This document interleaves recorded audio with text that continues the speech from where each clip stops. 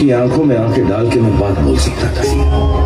वो मेरे बराबर थी, मैं उसके बराबर। अगर उसके साथ होता ना तो ज़िंदगी बराबरी की करती। पर ज़िंदगी काटनी किसे थी। हमें तो जीनी थी। अंजलि, हम एक बार जीते हैं। एक बार मत शादी भी एक बार होती। और प्यार एक बार ही होता है।